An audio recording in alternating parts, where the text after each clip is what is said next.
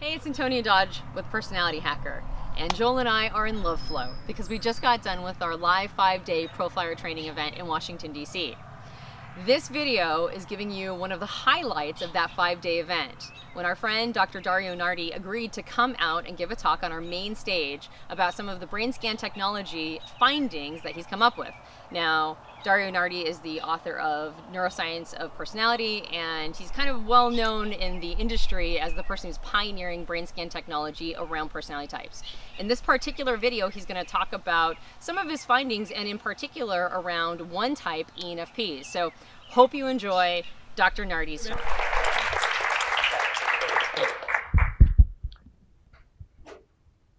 Testing, testing. Is that good? Oh yeah, yeah. It's okay. just for the camera, actually. So. It's just for the camera. Got it. Yes. Um, yeah. So I, I, have to confess, I had a little bit of an impetus to come out here. Besides um, loving these two folks here and what they're doing, is that my mom only lives about 15 minutes away. So it was really great opportunity to visit my mom too, who um, will be. Uh, is she? Are you here yet? I can't see all the way. No, probably not. But she'll be coming. Um, so yeah, uh, some of you are familiar with my research since 2006 on some stuff with the brain and type. And um, especially in the last few years, I've really been able to collect lots of subjects and like get the little intern elves uh, to crank out some numbers and do some stuff. So even if you aren't familiar with what I've been doing, all good. If you are familiar, I have new material. Yeah. Nobody has seen all of what you're going to see tonight. Some folks have seen about half of this in San Diego, about 20 of them, and that's it. Uh, so I'm super stoked. Now, we're going to be focusing on one type. And you might think, oh no, I hope it's my type. What is it going to be? It's going to be ENFPs. Um, woo! That's right. Woohoo! Um, However, what the, the point is that the principles we're going to see though are principles because already the interns are working on other types like INTJ and ISTP, ESTP, um, seeing the same patterns. So the stuff you're going to see is all relevant because you know what? What is the quote? Um, I don't remember. It's been around the type community for so long. Uh, every ENFP is like every other ENFP is like some other ENFP is like no other ENFP.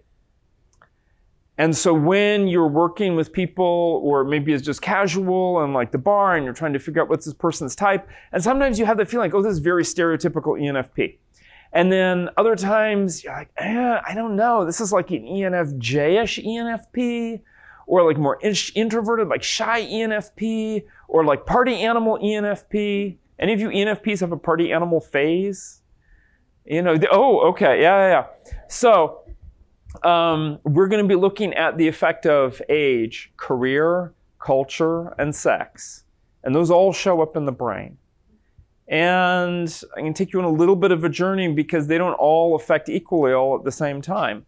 You know, career isn't going to have a big effect from people who are on 20, you know, 20 years old, but by the time we look at people who are 60, they've been practicing the same thing or several of the same things for decades. So we're going to see stuff um, in the expression of personality. You might wonder, well, the brain, you know, people really hope, and, and of course, this was my hope at the beginning too. All we need to do is give people brain scans, and then we would know what type they are. And it didn't turn out that way. Why, why is it not that way? Because there's brain, which is like the hardware, and then there's mind, which is like information processing. So it's like software. And then there's psyche, and Carl Jung was very concerned with psyche. So that's the person within the system. And so the whole point of type is not just like, you know, metabolizing information in the brain. It's about how do I relate to the people and the environment around me and, and in myself and to the unconscious and like all of these things. All of the stuff is going on. So it's not a surprise. There's not a one-to-one match and that's fine because people tend to develop the parts of their brain that meet their practical needs, like getting through the school system, and also their psychological needs. And I think that's important to keep in mind anytime when a person has a set of skills or behaviors, where did that come from? You know, one of the questions you can ask is like, when did you start this behavior? Were you like this as a teenager? Um, but also, what needs is it meeting? Is it career needs, it practical needs? You know, uh, even for some types, figuring out how to do dating is like a really big thing they have to figure out. For other types, it's a little bit easier. Or is it meeting just pure psychological need? Somewhere in between there. So our agenda is to take an in-depth look at one type, look at these different factors, and I'm going to be reporting we have 42 ENFPs now. In fact, even the last time I presented, we had 37 ENFPs, and already there have been five more ENFPs. Um, that doesn't mean I don't need more ENFPs, because they're always nice to have in the lab. Um, and the whole idea is to help you understand these other factors, how they affect type, so that you can better type people properly, as well as perhaps understanding your own development or ENFPs that you know. Um, and even if you're not ENFP and you don't know any ENFPs at all in your life, which might be possible, still the, the principles that you're going to see are things that so far we're looking at they hold true. I originally was going to show some examples It was like compared to INTJ and ISFP and so on, and then I realized each one deserves so much in-depth treatment. I can't just like show a slide. Like this just felt wrong as a research person that, and, and just as a type person that felt wrong. Um, it's a little bit about me if, if you don't know what I do. By the way, I'm holding this so I don't trip over it, um, which could certainly happen. But I just realized if I put this like here, that's probably okay.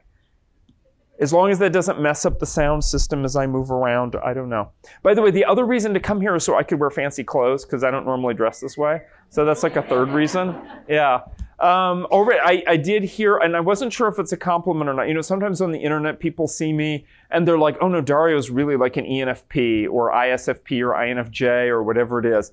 So I'm not normally, you know, have to, you know, I'm dressed up like this at conferences. So maybe this is how people know me. Consistent image. Uh, I, I, I don't know if you all can really see that, but they're just views of people wearing this funny nylon cap that looks like an elf cap at Christmas. And they're doing a variety of activities. And when I did my book in 2011, that was just like a pilot study. It was 65 college students. Now it's like over, I don't know how many people there are, 320, something like that. All different ages, of course, all types still. Um, I think the smallest number, there are 10 ESTPs and 10 ESTJs. So I think that's the smallest number of any particular type. Um, ESTP, very hard to get into the lab. I've tried bribing them with like beers and all of these things. Um, slowly but surely, their friends, you know, convince them to come in. Uh, they do a variety of activities for one hour in the standardized protocol, where they do like meditation and reading and listening to music and playing video games and doing speed dating. Um, yeah, they do speed dating. Um, even if they're married, they still have to do speed dating. Um, and there's uh, no, we modified the instructions. It's not a big deal. And they do a variety of math problems. You know, you think, oh my God, I'm getting my brain scan and I'm using math problems. Do you know how Americans feel about that? um, I have a colleague in India who has been scanning people in Mumbai. Uh, and I've done this also. I have like over 30 people from the UK. And by the way, anybody here from Britain? Anyone? Oh, fantastic.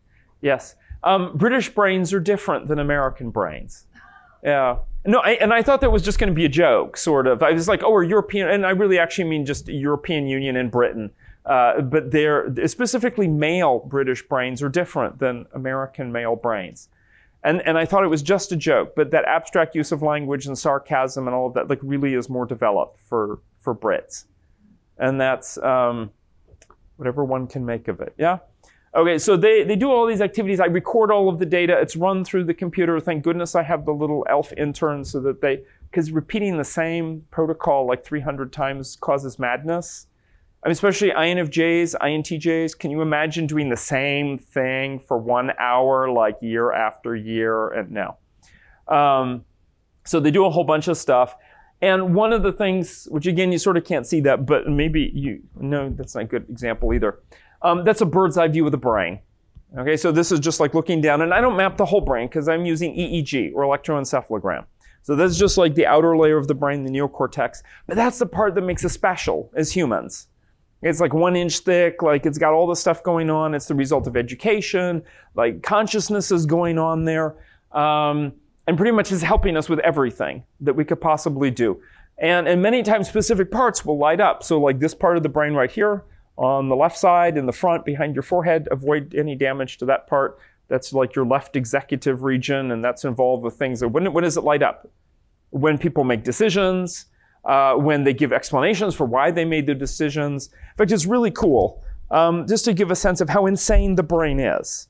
Um, two, two examples, but I'll, I'll start with that one. One is I, I'm going to tell you something, okay, but or I'm going to ask a question, and it's going to be like it doesn't make any sense, but I want you to make up the answer, and you'll understand when you hear the question. Today, why is it that you decided to wear a blue blouse?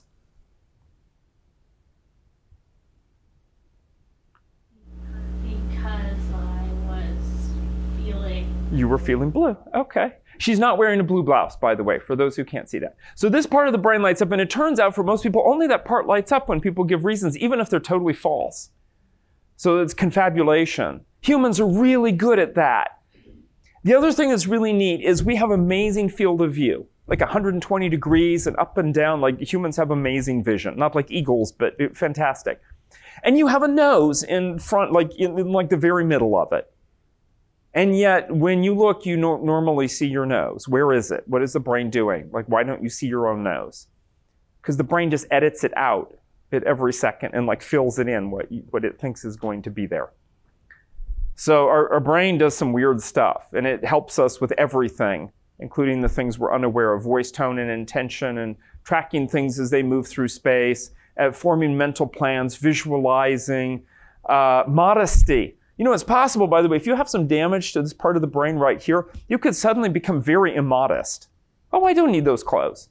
No, I mean, this happens. I mean, it's sort of sad, but like, thank goodness for people who suffer, you know, ac- uh, brain injury from accidents because we've learned so much from them. I say that somewhat, you know. I don't really mean that. There are other ways to find things out. Uh, there's a whole, and this map is not just my map. This is me looking through all the literature, and half of the stuff you can find by just cracking open any neuroscience textbook. The other half is you can go to a place like Wikipedia and you look up and you find different regions of different sensors and you figure out, you know, what does the latest research say?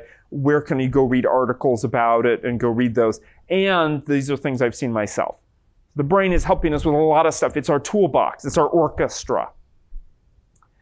From all of that, I want to get to this, which is what is an ENFP? And there are different ways to answer this question. So it's like a Myers Briggs code, which isn't what Carl Jung came up with originally. Uh, which means, you know, like extroverting and intuiting and feeling and perceiving. We could also say that uh, if Linda Berens were here, it would be the get things going, temp- uh, like a catalyst temperament and interaction style. So there's, there's that view. Then we know what the functions. So it's extroverted intuiting is dominant, then it's auxiliary, it's assistant is, is introverted feeling. And then there's some other stuff that's going on there. Um, I call it the to give a little name for it, the discover advocate. And that's um, other people view them as discoverers and they view themselves as advocates, or is it the other way around? Um, I like giving two names to the types. But there's this, you know, holistic way we can look at types too, these themes that we know. And that's the whole point of getting familiar with type, because if you just had like a single line definition, like intuiting means this and sensing means that, you'd be missing so much because people are organic and interesting and variable and give surprises and contextual.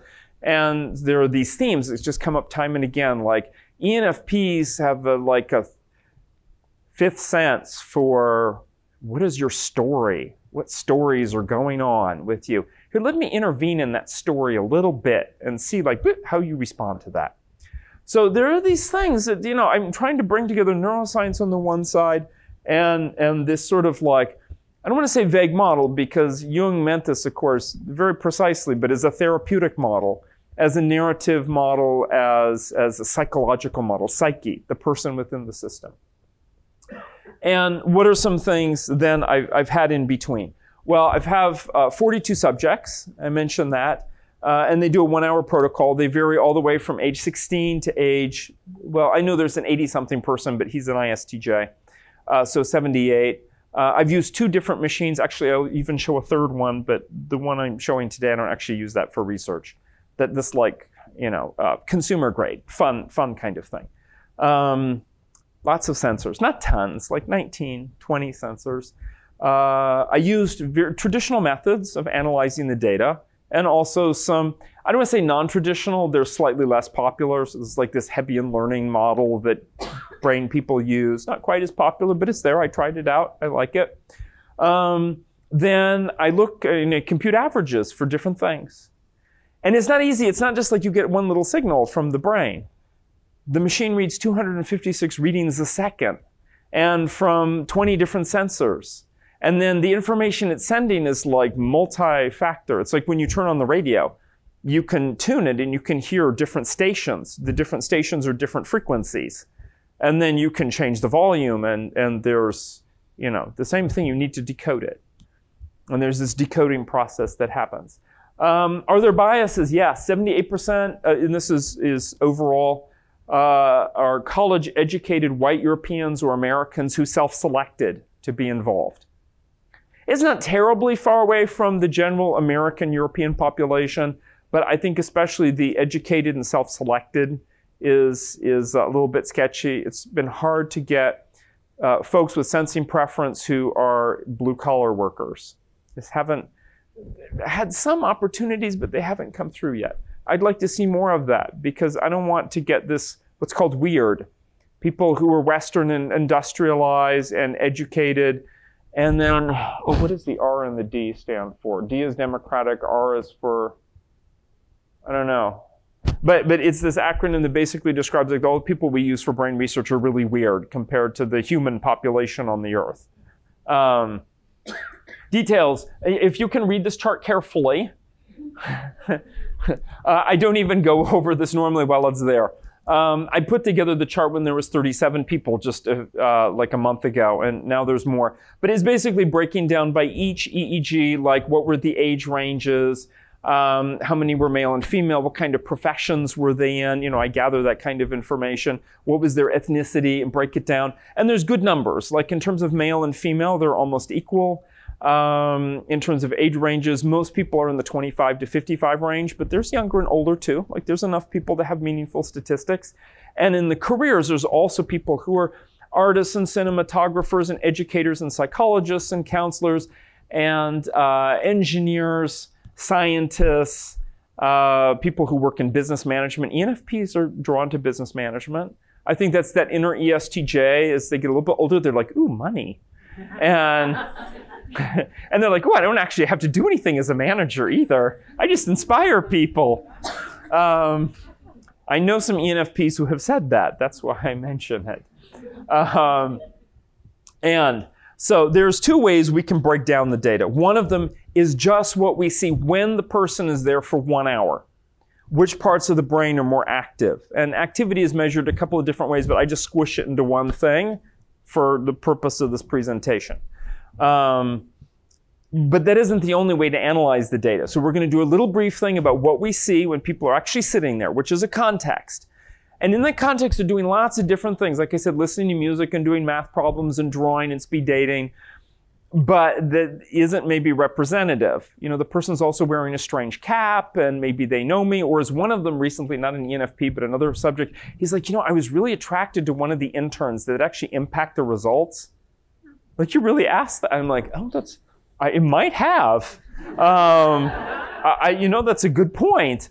Um, fortunately, there's a method that's been developed about 10 years ago that allows us to find how the different regions cooperate in the brain, how they synchronize. And that synchronizing follows a principle. Neurons that fire together are wired together. And that wiring only happens because of years of habit and practice. So there's a really nice statistical technique that you can go in and you create this network and it's like, despite what you saw during the session, the person's brain is actually wired like this, which could be different. And then we get into things like midlife, but we're not going to talk about that much. Sorry. Um, so what are we measuring? We're measuring live neocortex brain activity, the surface of the brain. Um, amplitude, frequency. So I'd like to say, think of a radio. You know, there are two things about when you turn the radio station. First, what kind of music are you listening to? Is it like really fast frequency, so it's like dance music? Is it going to be like slow, easy listening, put you to sleep? That's like, you know, low frequency stuff. And then the volume, because, you know, you can listen to like, what is it, techno, but on like really low volume. Or you can listen to easy listening, like blasting. Anybody listen to easy listening, blasting? Ooh, excellent. Okay, you know what I mean. Yeah, that's a nice flow state there. Um, and then the result is showing where the person is placing effort and interest, where they're placing their attention. It doesn't mean skill. And I think it's important to understand when we see this. At this point, it's not about skill, it's just interest and attention. And what are we? Well, again, you want to look at this really closely. now, what the result is is that there are these 19 or 20. Uh, I added one more brain region recently to be able to be measured. Um, and it just there's this bar chart that's developed, and the bar chart is basically telling us how active each brain region was. And um, the bars are all vary between 40 and 60 percent. It's like normalized, you know, between like zero and 100 kind of thing. They're all between 40 and 60 percent. And ENFPs, as a general rule, are generalists.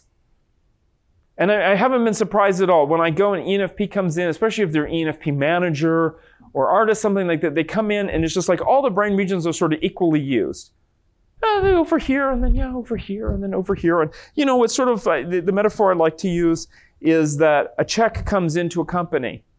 And normally, in, in, like a normal company, you say like ISTJ company, the check just goes to the accounting department and then that's it. But in the ENFP company, everybody gets to see the check and like potentially have some thoughts and feel some rewards and, and feel good about it. So there, there isn't, there's sort of generalist. There's no like, Individual ENFPs can have their favorite regions, but in general, they tend to be in this 40 to 60% range. There's not something that's like way out there that's like, ooh, you know, their very, their very biggest favorite thing. Um, now, as we look at this, we still want to know though, like, do ENFPs have more like goal focused approach? This is like this part of the brain here. That you, you basically, if your brain were a company, you'd have two CEOs goal focused CEO and open ended CEO left and right prefrontal cortex. Not the whole brain, just the, like the very front part, um, where your forehead is. Uh, the open-ended CEO is a little bit stronger.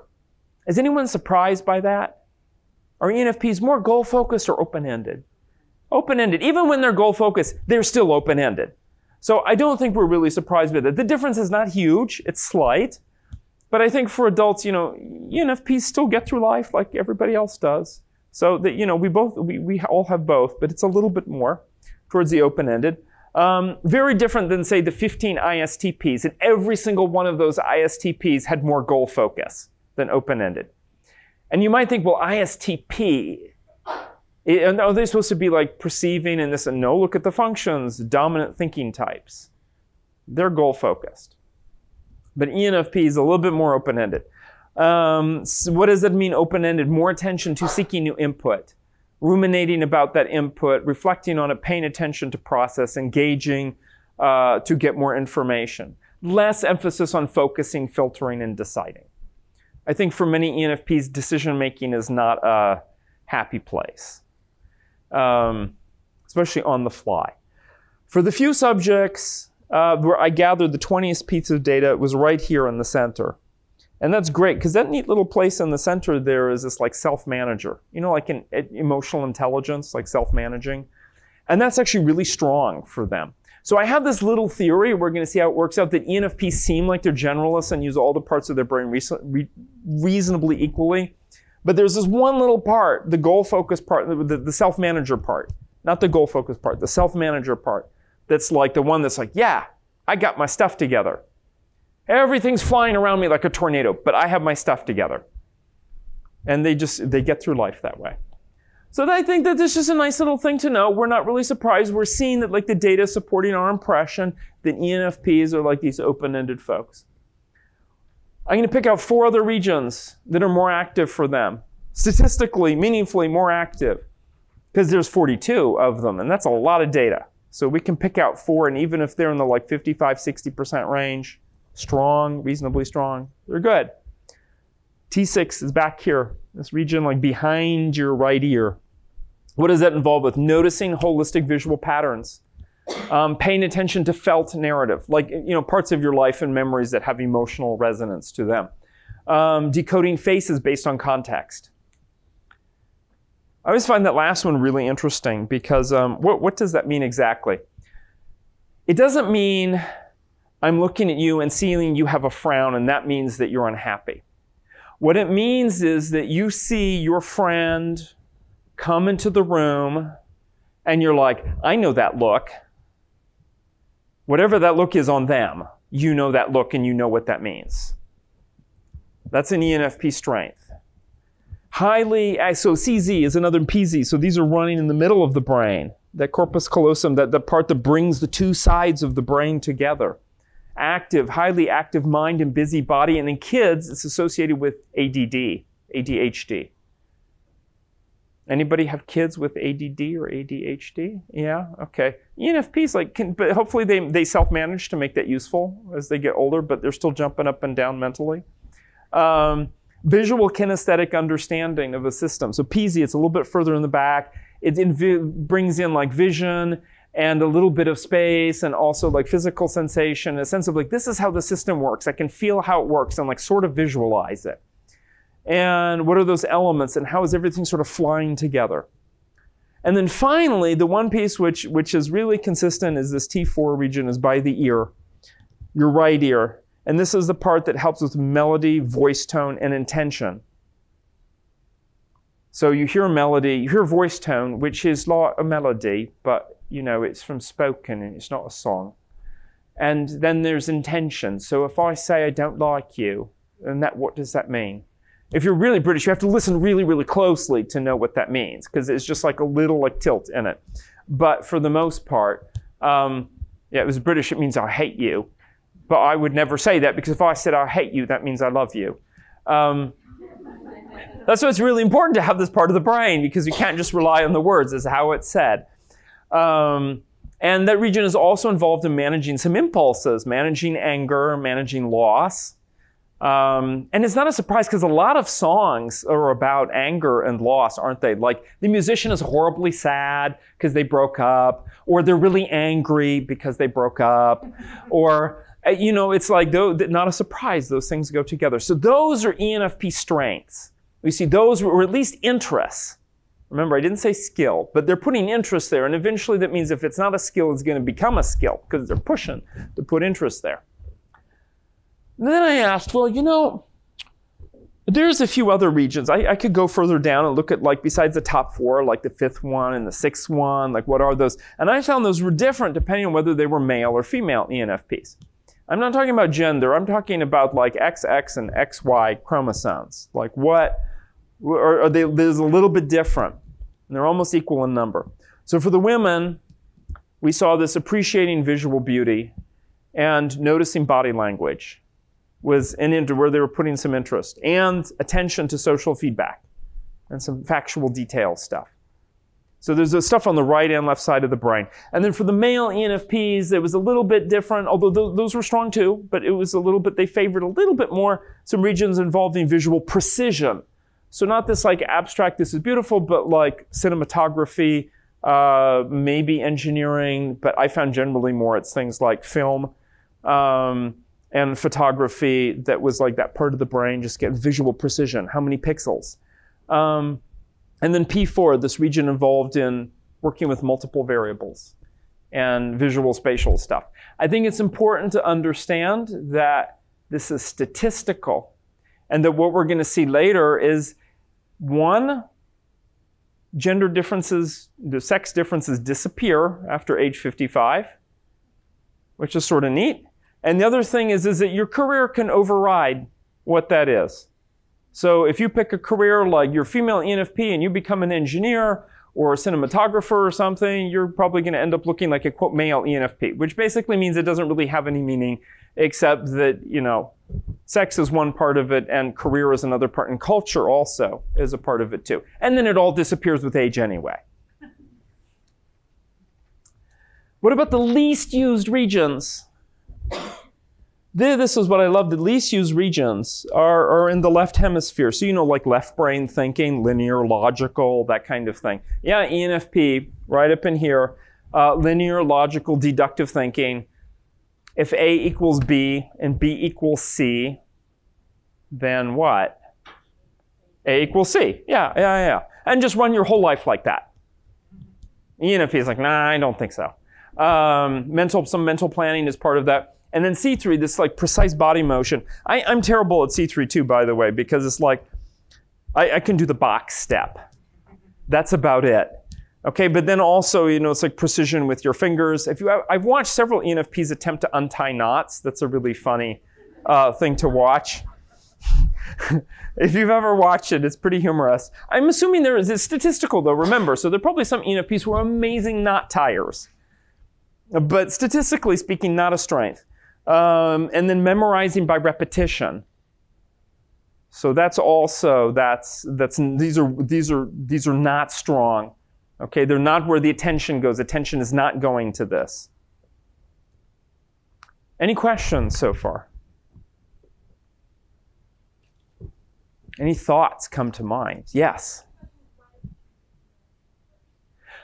Well, part of the reason is the first intern I had who started cranking out this data had ENFP preferences. And I said, you can pick a type and don't pick one that only has like 10 people in it. And she's like, well, I'm an ENFP. I want to know about other ENFPs. Yeah. Yeah, that's right. Yeah, and I'm like, fair enough, because I want the interns to be happy interns so that I get more interns in the future. Because these are like UCLA students. And the beautiful thing is, the students pay UCLA $4,500, which is the cost of a four unit course, to work for me for free.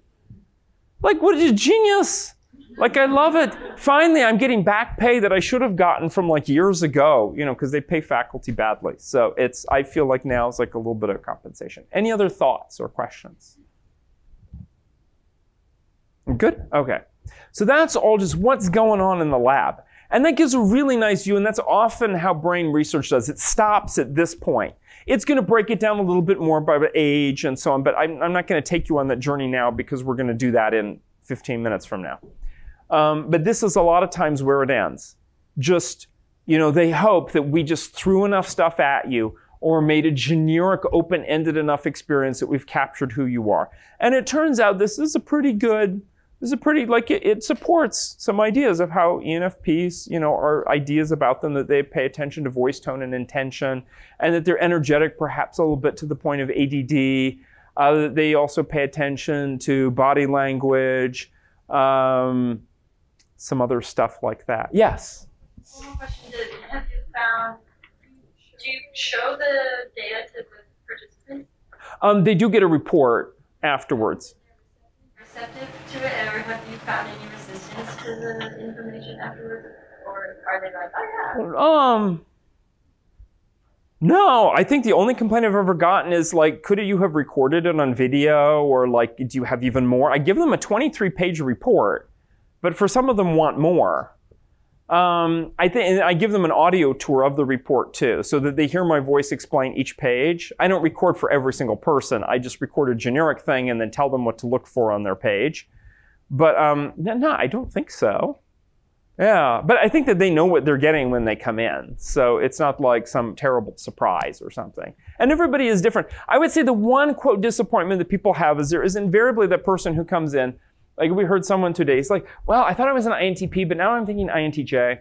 Um, what type am I? Well, this brain scan is probably going to show which type I am, right? And I'm like, eh, no. What it's going to show is exactly why you can't figure out between those two. That's what it's going to show because you're going to show elements of both. Because every person, remember, every ENFP is like no other ENFP. And the same for INTP and INTJ and so on. So now we're going to go in and we're going to look at brain wiring, and I'm going to jump off from this point of male and female brains, and then we're going to leave that behind and go to some other stuff. But I'm going to take a look at this idea of brain wiring, which you're like, what? Say, look carefully, there's a test on it later. Um, eh, the, the male ENFPs uh, on aggregate are on the left, and the, the female are on the right. They actually do look different. So this is a different technique. This is when the computer goes in. I can't see this visually watching the screen, you know, as they're doing the session. The computer does this analysis and it spits out these results, and then I get to draw the, the map from the results. And it is sort of neat to see that male and female ENFPs look different. But like I said, wait and watch, because by the time people are 55 and above, these disappear. Um, so it's really, this is only like an influence. It's an influence. But then there's this idea that we have these circuit diagrams. It's sort of like social network. Different parts of the brain fire at the same time. There's this idea deep in the brain that the part of the brain called the thalamus basically sends out some signals and say, hey, for this kind of situation, you need this part of the brain, which is over here, and you need this one, and you need this one. So like you three, like fire, because we need you right now. And then like one second later, it's like, no, no, no, now it shifted. Like now we need you, you four over here, like you shift. So it's, it's, we have these networks in the brain. And these are the results long term. I mean, when I did this for the first time and I found networks and I thought some of these, wow, they go into the right hemisphere here. And like, what is this about? About like balance and body motion. And I'm like, oh yeah, because when I was six, seven, eight years old, I learned surfing, ice skating, skiing, roller skating, like all of this stuff. And even when I went ice skating again in my 20s, it had been like at least 15 years since I'd gone ice skating, I didn't even fall down. I'm just like, oh, this, this is fun. Like this again, it was still in my brain at age 40 something. It was still there, like the capacity for that. Um, not the only part of the brain involved with balance, uh, but that's sort of neat to see that there are things from your childhood which will still be there. And pursuant to something that somebody asked earlier about negative memories, yes, skills that you learned that were coping mechanisms, maybe for negative experiences, will still potentially be in your brain and still firing maybe 10 times every second. Or maybe they're very slow and they only fire once every two minutes but they're still there. That's one of the things that people I find very interesting is like, what is this about? And uh, really what it is is they, they see, I point out there's a line here and, and I'm like, I'm not really sure what this is about. And they're like, well, tell me. And I tell them what those two brain regions do that are linked together. And they're like, oh, I know exactly what that's about. And I've heard some really interesting stories about that. So some of the things that we learn sort of going deep down uh, is that brain wiring supports intuiting and feeling preferences. We see which parts of the brain are wired and which ones aren't, and we see those support intuiting and feeling preferences. Um, both female and male ENFPs show skills to analyze others.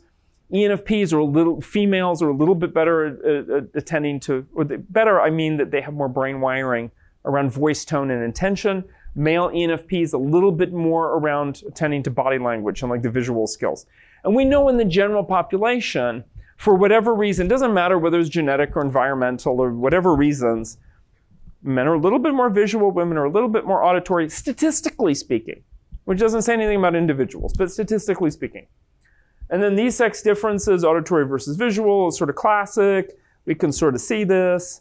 It might explain if you look on the MBTI, it says that introverts and thinking types are more visual, and extroverts and feeling types are more auditory. So, what, what impact is it going to have when somebody takes the MBTI instrument? And invariably, you'll encounter people who have. Maybe a male ENFP is going to be pegged as a thinking type or more of an introvert, when in fact they just their brain is wired in a slightly different way that has nothing to do with, you know, whether they're an ENFP or not. Female ENFPs, oh, really great. They show this, so we're going to break it down. Strong whole brain pattern. So one of the strongest of all of the 16 types. What does whole brain pattern mean? It means all the regions are firing simultaneously.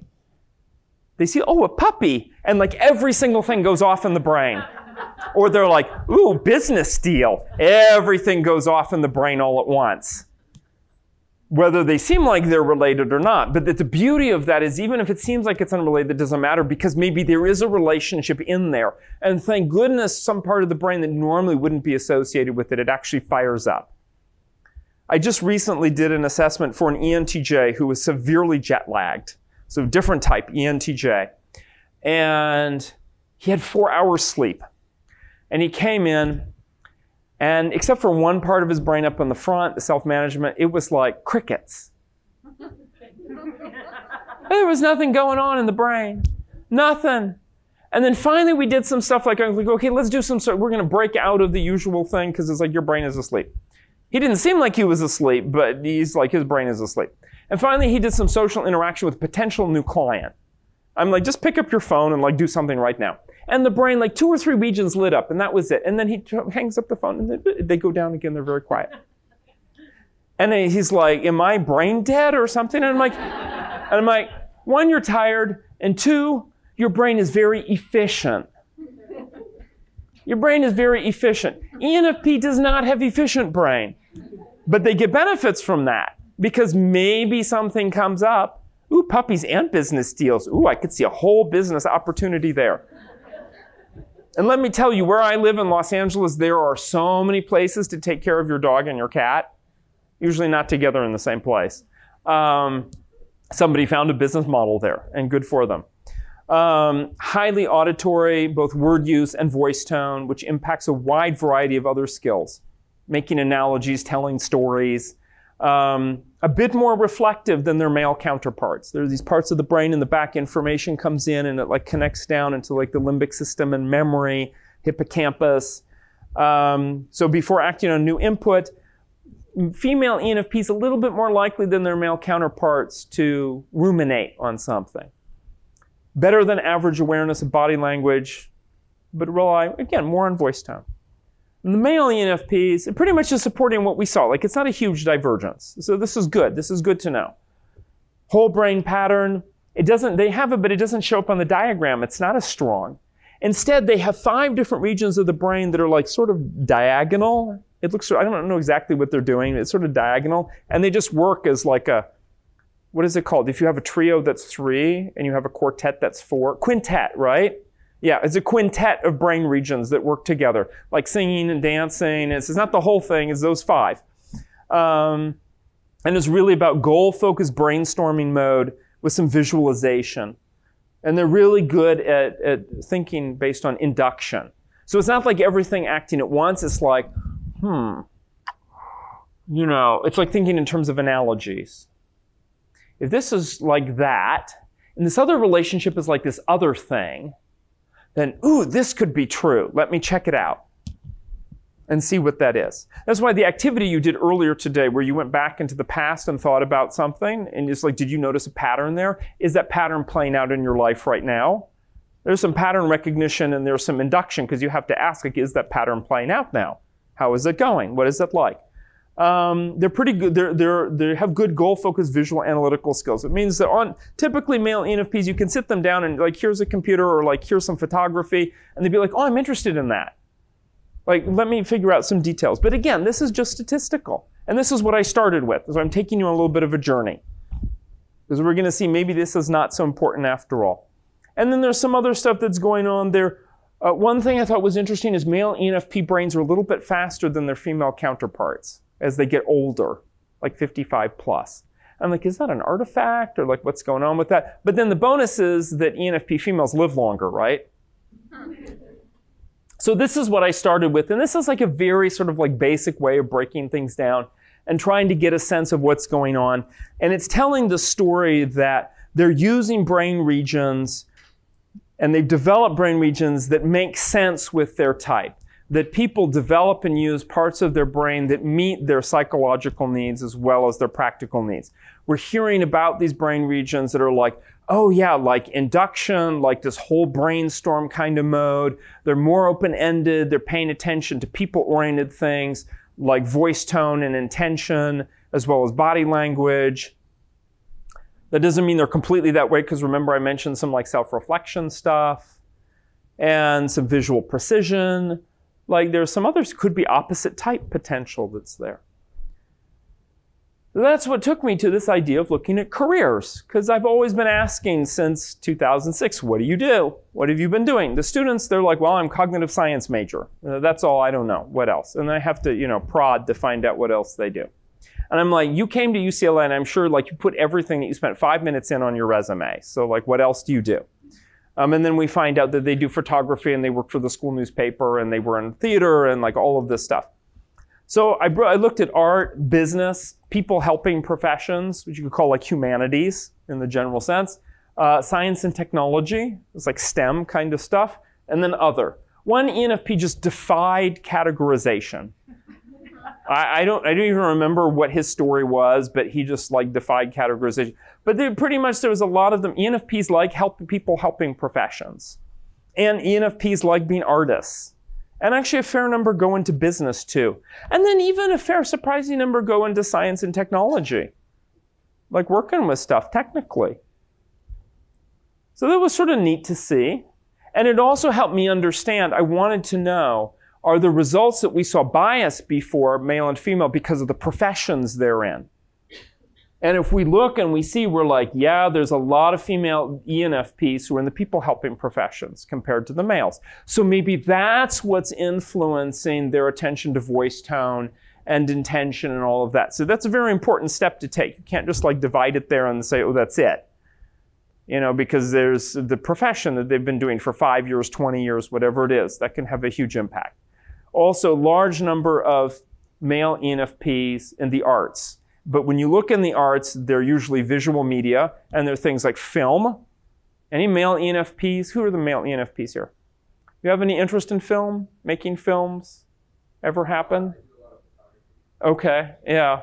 So there's uh, invariably somewhere in the ENFP's history there was like a love affair at some point with film or photography or something like that. And many of them they take that becomes a business thing. It becomes part of their career. So I had to be aware that there are like these biases in the data set. And, um, you know, I also have ENFPs do all of these different tasks meditation and math problems. By the way, nobody likes the math problems, really. Like almost nobody. There's a few. I bet I even had an INTJ come in, age 30. He was a math major. And he also was like, oh no, I forgot how to do math. And he's like, Can I stop now? And he got really upset about it. Because, like, you get a Bachelor of Science in math, and then you don't remember how to do, like, differentiation or an integral. And he's like, Oh! Uh, so he was very embarrassed. So nobody likes that. Um, risk and uncertainty with money. Everybody loves risk and uncertainty with money, right? So, uh, drawing, that's a more thing. Expert talk. People love talking about what they know. Um, how do ENFPs respond to these tasks? Meditation. I think this is a, this is an interesting thing. So I, um, I, I know a number of ENFPs, of course, younger ones I've met who like hate meditation. But then when I talk to older ones, they've gone and done like vipassana for a week, and they're like, it was the most horrible, difficult thing I've ever done, and it was totally worth it. And and so I'm like, okay, okay, that's good. 80% could quiet their their their brain and get sort of body connected which is like most people, and then 20% found it hard. So actually, ENFPs, you know what? Meditation is actually not harder for you than it is for other people. You're like right in line with everybody else, um, which is it's it's not as bad as you think. Like people can do it. Math, 20 40% of them, their brain got busy. They're like, yeah, I'm going to try these problems. Uh, 30% found it easy, and 30% really got emotional and stressed about it. And that didn't matter if they were male or female. They got stressed about it. Um, career, even then. I think Americans just don't like math for some reason. A verbal creativity. And this is, this is the kind of thing, okay, this is where ENFPs are going to shine, and it's so true. So I'm going to, who's an ENFP here? ENFP? Okay.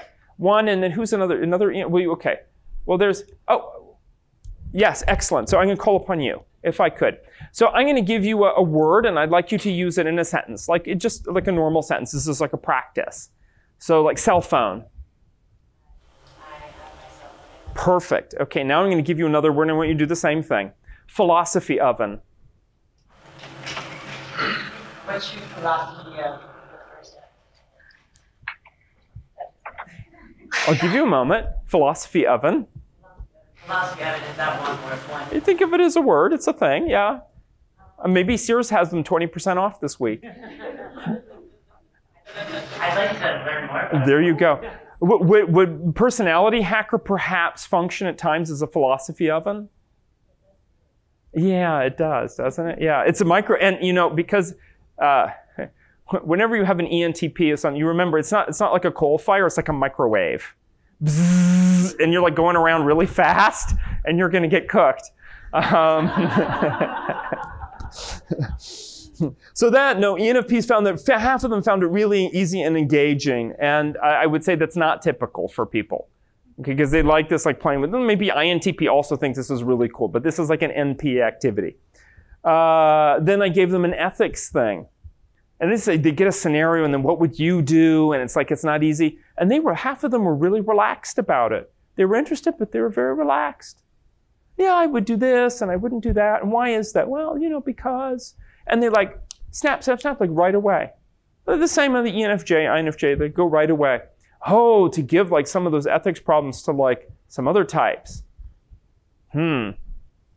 Um, some of them get very creative though with ethics. You, you know, um, I don't mean the ENFPs, they're just people in general. Um, and then giving an expert talk. Uh, ENFPs were really engaged in giving an expert talk. I think you know it's just like it's like oh thank goodness I can talk about anything I want to. I'm gonna just, we're just gonna like chat, and invariably the expert talk would turn into a chat, and like a Q and A and a dialogue. So this is important. Like I give them all these activities. I want to know what excites their brains, and some of them are the things that are true for everybody, and other things like verbal creativity and ethics problems that they actually found much easier. Some people get really stressed out by the ethics situation. Some people can you imagine? And I've given this to like an, an ISFJ, and I ask them, I'd like you to use the phrase, uh, and then I give something weird like philosophy of him. Or even an ENTJ. ENTJ, my, the, the very typical answer they give is that's not a real thing. an ENTJ, because they, you know, they're going to have like, because remember, intuiting is auxiliary. And they're just like, wait, you're trying to get me to do extroverted intuiting. Like, I don't want to do that. But if I keep pushing, eventually they will. Um, so they, when I sorted them by career, I came. I also did, found brain wiring in two categories, and basically the people on the left uh, are the ones in business and STEM stuff, and the people on the right are in the arts and humanities and, and like something physical. And they look almost identical to the male and female ones, except that they're not actually sorted that way because there are lots of male ENFPs who are in the arts, and so they should be like on the right. Except the average male ENFP is one on the left. And I thought, well, this is really strange. I'm like, okay, so there's like maybe two subtypes of each type. That's what I'm thinking. And like sex plays one role, but like career plays another role. And it seems like the career can override the sex factor. And that's sort of like my, my what hypothesis I had. And I hadn't looked at age yet. So there was like a little bit of a mystery there. I also tried to sort into more categories, but I found I didn't need to. Basically, there were these two that came out as interesting, like these clumps. So STEM and business on the one side, and then like basically either you run Google or you work as like a you know digital slave at Google, but same idea. Or on the right, you're like uh, you know marketing and psychology and maybe something physical, and then that's those are sort of the. I'm like, okay, but this is so odd. Because I, I know like what's going on i'm thinking. So some career insights before i untangled that. I just looked at career. And by the way i'm, I'm looking here instead of there because i can't actually read that clearly. So and if i can't i'm guessing that you all the way back there. Yes. You're good. Okay excellent. Um, so career category shows uh, less, slightly less clear impact than sex because I'm not quite sure how it's working. So that was my like hypothesis or like my conclusion so far. Then this could be due to the wide variety of career skills. Because a person who's like in man, business management, like maybe that's really people oriented and it's what they're doing is not actually so businessy after all in a technical sense. So maybe I didn't categorize people the best way. Um, Nonetheless, the details of the career often show up for individuals. When I would get down to lab stuff, so I have somebody come in, and she was debating between ISFP and ISTP, um, or INFJ. And I'm like, hmm. And then I think ultimately, like two years later, she set, later she settled on INTJ. So she comes in, and I'm like, well, you know, tell me about yourself. And she says, well, I think I'm an ISFP. Those are my preferences. And I said, Well, why are you thinking ISTP? And she's like, Well, she's like, I work in a lab as a lab technician with other people. And she's like, so I feel like I have these technical skills and I do this problem solving stuff. So I'm wondering, like, is that my career or is that really my interest? And I said, okay, now tell me about INFJ. And she said, well, with INFJ, I feel like they have this creative and intuitive side and they're also people people and that they're introverts. I'm like, that, that resonates for me. I'm like, okay, so I and she's like, and INFJ also has like introverted thinking as something that they develop. And so maybe that maybe that's what I'm using in the lab. I'm like, okay, those are good points. So we went through and we did the brain imaging and she got her results. And I'm like, yeah. So she's like, well, which type do I look like? And I said, well, you look like either ISFP with like a lot of technical skills, or you're ISTP with some really great people skills, or you're an INFJ, except you don't have this usual like whole brainstorm pattern that most INFJs do. I'm like, I'm sorry, but that's how you came out. No wonder you're debating between those three types because that's what we see. The, career, so we see exactly that. I even had one, he came in, he's an ESTP, and he looked very typically like ESTP, except he had one link that was from like here running back through here, like very unusual, kind of really strong. And he's like, well, what? and I, I mean, he knew type, and, and he was like, well, what does that mean? And, and I'm like, well, I don't know exactly, but I'll tell you what the two regions involve. They said this one has been associated with values and beliefs and religiosity, like and dislike. And then this other region back here is involved with weighing multiple variables at once, like risk and uncertainty, like looking at things from different perspectives. We know this from economics and neuroeconomic studies. And, uh, and he said, Oh, he says, no, that makes perfect sense. He said, because I, I did my own major in college, and it was on um, like the sociology of uh, religion. So he's like looking at like why people have different value systems and different beliefs and like exploring that analytically. And then what he's been doing for so many years, he just flies around the country and gives talks on like values and beliefs and religion and like but analyzing from like a thinking perspective. He's like, well, people see things this way and like, or you could see them this way. And, and he's like, no, that makes perfect sense for me. And then, and then the good news is I picked, he's like, that's so amazing you picked that out from me. Is like that that would just be and so i've heard from him again you know busy estp but he remains impressed. Um, so sometimes you really can zero in on that. Um, science technology business suggests better skills in areas like math reading speaking goal focused brainstorming so you can be, do goal focused brainstorming that was something that came up today wasn't it so there could be like open-ended extroverted intuiting it's like, ooh, there's baloney raining from the sky. And then there's like goal focused brainstorming, where it's like, we need to come up with a solution for this. Let's do a brainstorming session. And I don't mean like a boring corporate brainstorming session, like genuinely thinking outside the box, but with a goal focus. Um, and then the arts and humanities and the physical people uh, showed stronger whole brain creative mode, where their whole brain comes into play and gets active. And, and it's like, oh, we can use a little of this and a little of this. And you know what? No one is going to expect that we're going to bring in this other thing over here, and then they're really going to remember us. And and that's really and that could be the same. My uh, my first my, my, sister has ENFP preferences, and I think she's okay if I tell the story. And um, she had to do to get her social welfare degree. She had to do an internship. She had to do three of them. Her first internship was working at the prosecutor's office in Philadelphia. The philosophy they have at the prosecutor's, prosecutor's office is this. You know the difference between uh, the victim and the accused? The accused is the one who fired his gun faster. The victim was simply slower in firing his gun. And so she was, what was her job? Her job was, now mind you, she's like, what is it? Five foot? How tall is she, mom?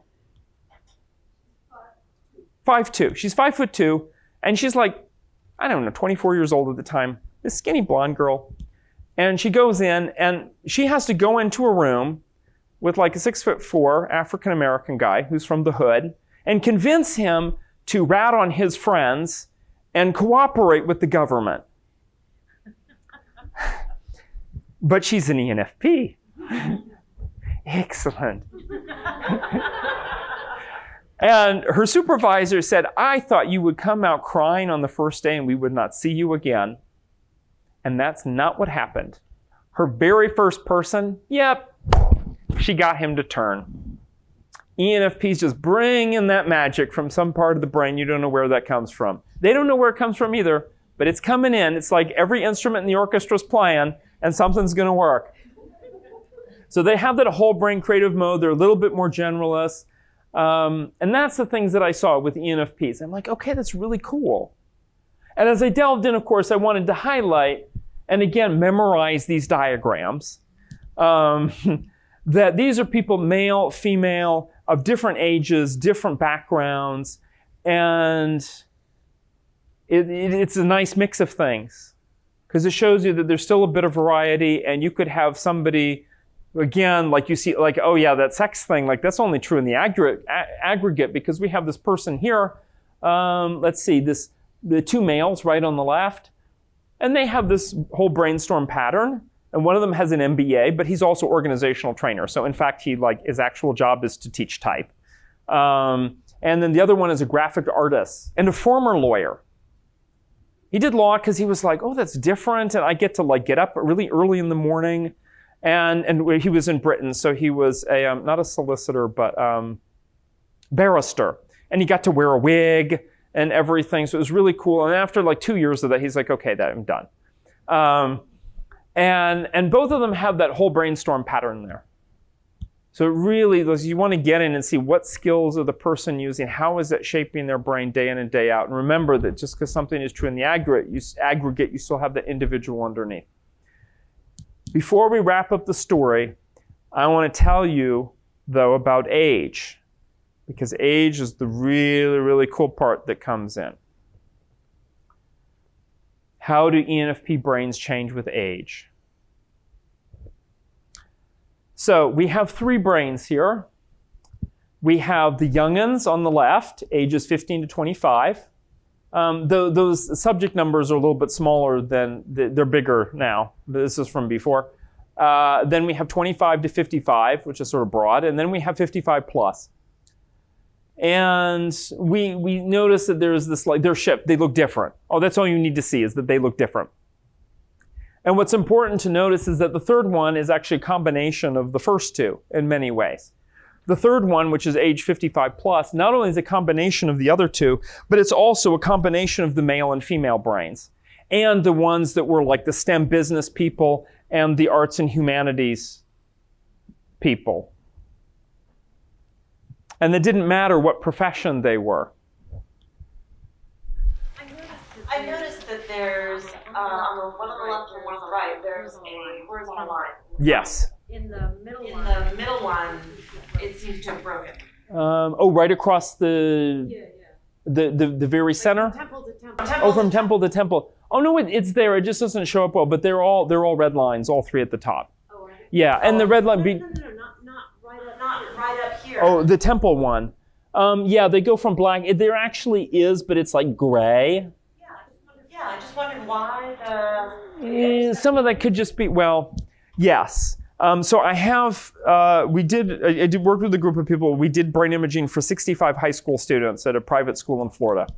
Um, we know that when you look at kids, like certainly before age 25 and definitely before 20, that the prefrontal region of the brain, those executive regions, are not done forming yet. In fact, they, they're like in the middle of forming at best. So you're not going to see a strong connection there between these very, very front ones. Instead, going between here and here, where you see the extra activity and the connection is actually in the temple regions connecting to each other.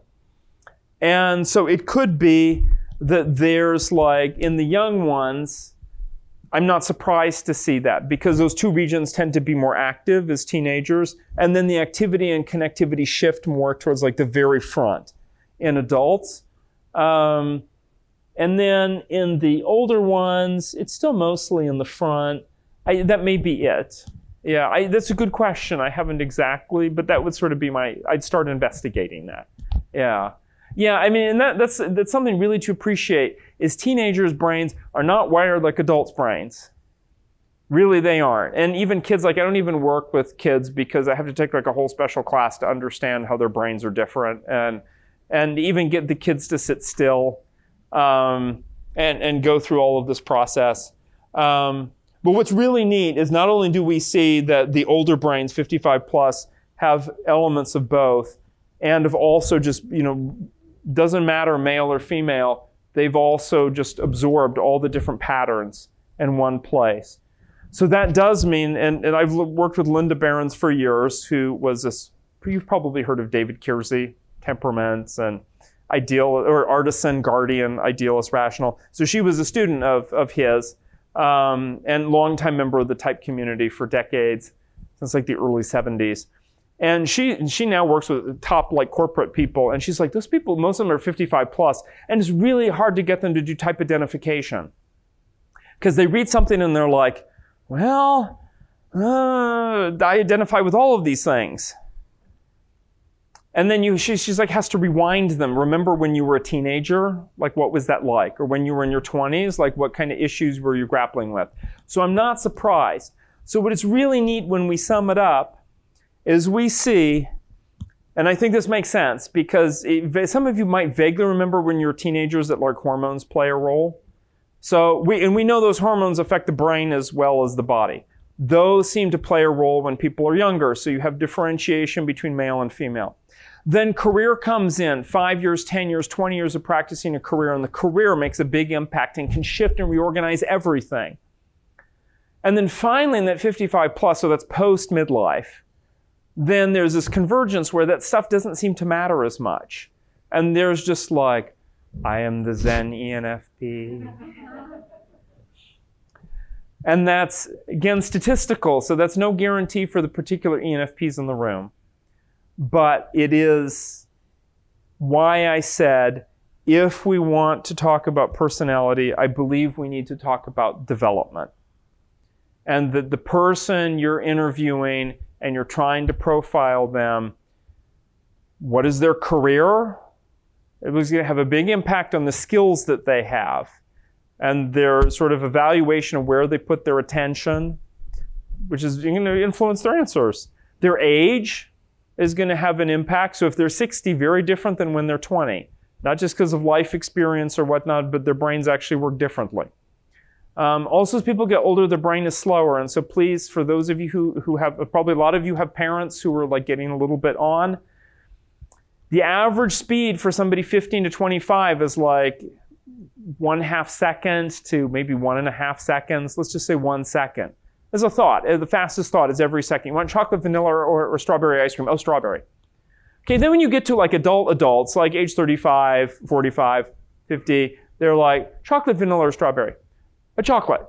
There's just like a very slight delay, but it's fine. You know, you're driving along, it's fine. Then you get to like the 65 plus. Would you like chocolate, vanilla, or strawberry ice cream? One 1,000, two 1,000, three 1,000. Strawberry. And, but that doesn't have to be that way. But again, there's these, I, I, the psychiatrist uh, I worked with, ENTJ, he's 62 at the time or something. His brain speed was still like a college student. Um, so it's uh, those kinds of things are also going to affect the person's presentation and how they think and what they do. On. So we normally think of extrovert intuiting as like, oh, really fast and like have all these ideas and floating around. The older ENFP is going to be a little bit more like taking it easy, and their brain's processing stuff, and just because they're older. There's going to be some of that. Um, lots and lots of insights by age, but I already mentioned all of these things. Um, some hypotheses from ENFP development, yeah, from teen to elder, they grow into their type preferences. So they, they don't necessarily, they don't stop being their type but that whether they, they did this career or that career, whether they were male or female, those things seem to disappear, but the essence of their type remains. This whole brain pattern becomes actually more dominant. The skills of like voice tone, body language, all of that is still present. Um, you also get better at integrating perceiving and judging functions, which I see as being the left and right prefrontal parts of the brain. Um, I see with age there's a little bit more movement towards stuff involved with the back of the brain, which is associated generally in neuroscience with more in, more introverted. So there's a little bit more introversion going on. Um, may look a little bit more like a thinking type, maybe a little bit more set in their ways because that stuff in the back of the brain also goes down and links into memory. Um, male female differences and variations by career categories tend to converge or integrate into single pattern. And then we have questions. Yes. Did you, and I'm not sure if you have that yet, but did you see at any point in time where the integration really starts to happen in terms of age, like 20, 40, 60? No, and you know, and I talked to a colleague of mine, Mina, and she was like, "Yeah, break it down by every ten years or so." So I'm like, "Okay, when I reanalyze the data, I'll do every ten years to see where that is." All I can say right now is the 55 plus, but you're right, it could be lower, or there could be some point, like at 40 or whatever it is, that's like the turning point. And I, I don't know exactly. Yeah. That is on the to do list, yes. I'm curious if there's any correlation between specific parts of the brain with a particular cognitive function No, I, I would say, okay, so here's an example. This, this region, F7. So this is your left temple region. What is involved with? Well, as you go from the front more towards the ear, what it's associated with varies a little bit. It starts up here being about working memory. Then it develops what are called, you have mirror neurons. Mirror neurons allow you, when you're watching somebody, say, swing a tennis racket. It's been years since I swung a tennis racket, but we'll pretend. Okay, swinging a tennis racket, and you imagine that you're them and that you could do that. So learning by observation. Then you go a little bit further and you're like, you know what? I don't need to, I can just imagine them. So, like, I'm imagining my mom right now swinging a tennis racket, even though I've never actually saw you swing a tennis racket, but I can use my imagination. It's part of my working memory, and I'm doing a sort of a what if. Then it would be like, okay, let's go a little bit step uh, further away from that. So I'm like walking through the Renaissance, and like, mm, there's some delicious roasted boar. And and there's like some like you know some celery with it and sort of the activity where you did where you imagined a world. And then as it get towards the ear it goes to this part with analogies. So it's like uh, what is it? Um, cars are to roads as boats are to water. And those actions are all related to each other. So like in order to imagine me in the Renaissance, I need to think like, let's see, modern Dario is to Italian Renaissance Dario, conveniently same name, um, as uh, modern supermarket is to Renaissance outdoor marketplace. So mentally, I have to engage because my brain is generating something. It doesn't generate it out of thin air. Like it, has to go through an, an analogical process. And I'm imagining Dario was like some other person a little bit different than me in the same way that I'm learning, you know, and watching somebody and learning from that. It's the same area of the brain.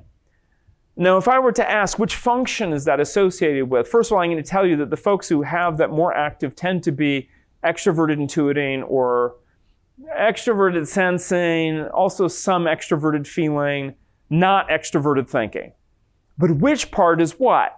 So like ESFP is like, ooh, it's like they just watch somebody else swing a tennis racket and then they start swinging. You know, I watched one time as my, not my mom, but my stepmom, my dad's second wife. Um, I don't even know the circumstances of how this happened, but somehow she ended up at the wheel of a big rig. She has no experience driving a big rig. And she started driving it and like turning it. And the guys afterwards are like, you're a natural.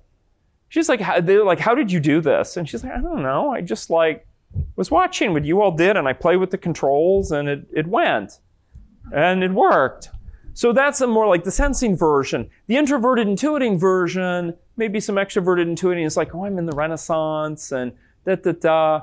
I think the extroverted intuiting version is more like I'm imagining what you would do in that situation. And I saw that very clearly one day. I had a student, this was years ago, this was like 2007, like right after I'd gotten started, and she's ENFP preferences, Jackie, and she's sitting there and we're between activities, and her brain is like right active, like right here, nothing else, just like right here. And I'm like, what, what is she doing? Like she's just sitting there. Like, is, is she watching me? Like, what, what is she doing? And I'm like, she's not even really looking at me. Like, where is she looking at? It seems like we're in a library, basically, like a private anthropology library. And I asked her, what are you, what are you thinking about? And she says, I'm watching that couple over there on the other side of the library, and I'm imagining what kind of interaction they're having. And that's, that was an example using that region, but using it in a way that met extroverted intuiting needs and interests rather than introverted intuiting or extroverted sensing.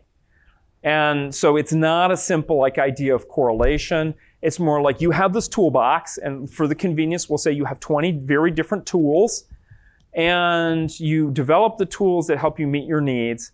And so the behavior on the surface could look one way, but the tools you're using are different, or you could be using the same brain region, but it's the same thing going on. And I, I see it with math even. This is very, you know, the brain is actually not wired for math. Like you're not born with the ability to do math. You have to learn it. It's very unnatural for the brain. Um, and people use different parts. And if you use this part over here, you're probably pretty good at math. If you use both sides over here in the back, you're probably amazing at math. And if you use this part over here, you're probably terrible at math.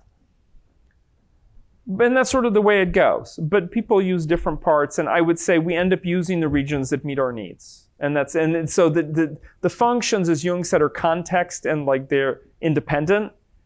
So one ENFP can be a painter and the other one could be a psychologist, and to them, they're doing the same thing. But they're using different parts of the brain to do it. Other questions? Yes. So I think you said in the past that you found statistically significant correlations with all of the cognitive functions. Uh, have you seen some of the cognitive functions show up be most prevalent Mm. Well, I haven't, uh, you know, I just started getting into reanalyzing the data all over again now that I have over 300 people. I would say there are some regions like this FZ region in the front here, which is involved with induction and hypothesizing. I mean, that's what the literature calls it out as. Like, that's pretty much like intuiting folks.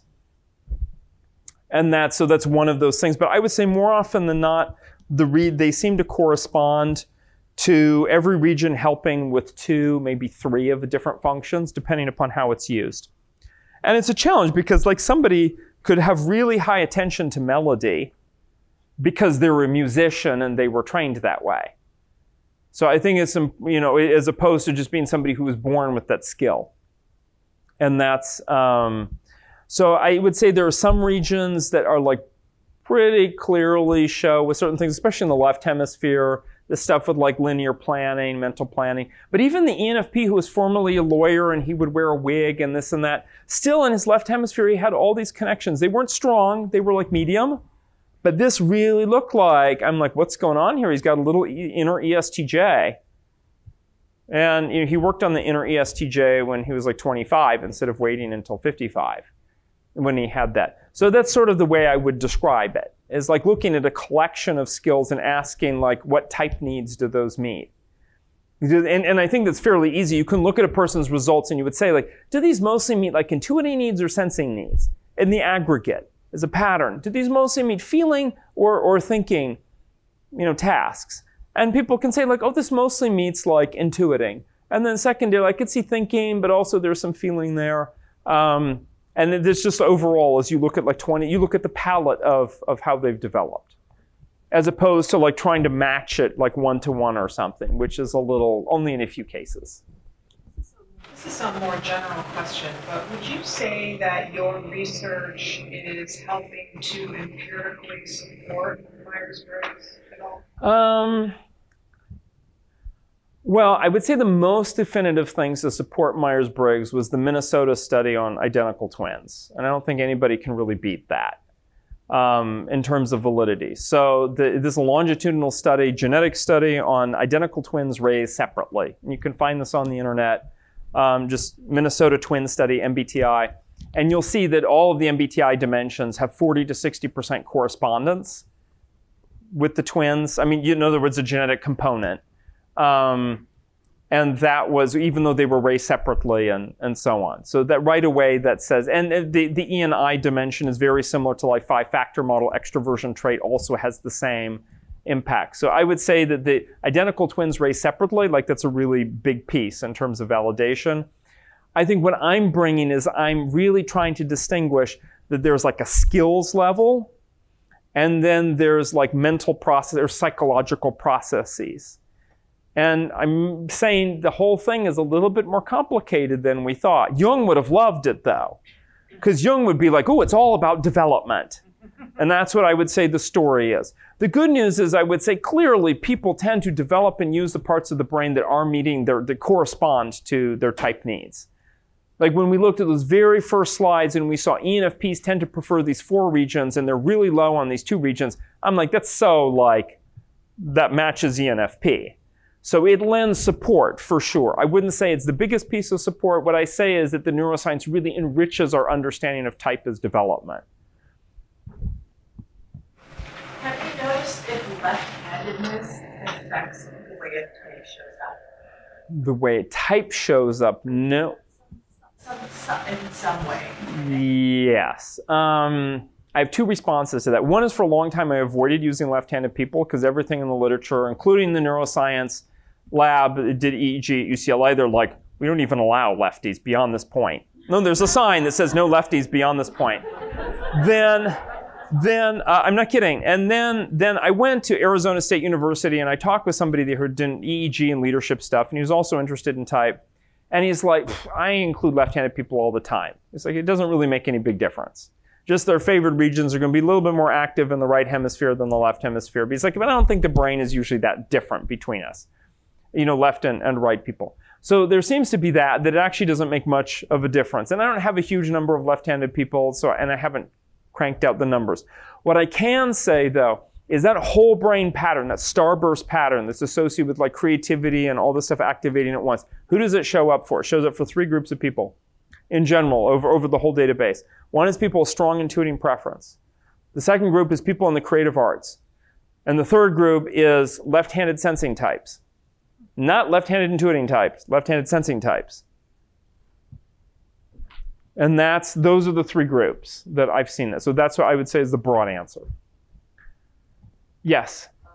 Uh, I was gonna ask a quick question, but I think you also wanted to ask a couple questions about the state, that works. Sure. Yeah. Unless there's, I know there's probably who. Just raise your hand if you have a question. So one, two, three, four, five.